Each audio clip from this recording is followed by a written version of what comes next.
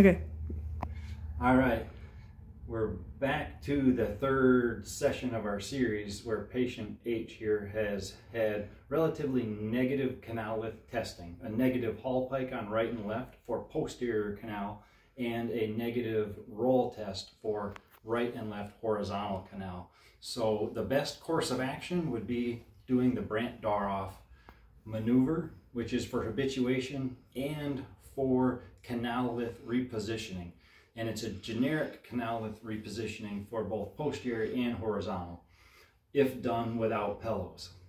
This particular test 20 years ago, and I've been doing vestibular therapy for 28 years now, used to use pillows and gradually over time they've removed the pillows and let the head go into more extension where traditionally it was done in flexion.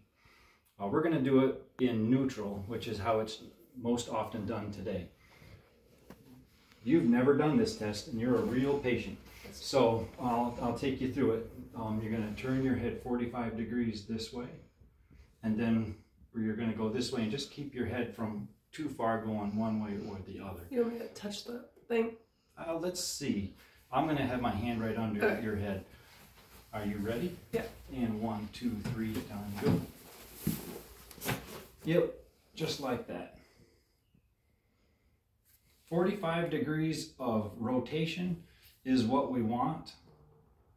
And sources vary to let the head go all the way down or to keep the head in neutral. I think if you let the head go down into more extension, it helps with the posterior canal corrections. You hold this 30 seconds. Any symptoms? No. If there's no symptoms after 30 seconds, you go back to neutral. Ready? Yep. And look straight ahead. Any symptoms? No. And you should warn your patient that there may be symptoms with this, there often are.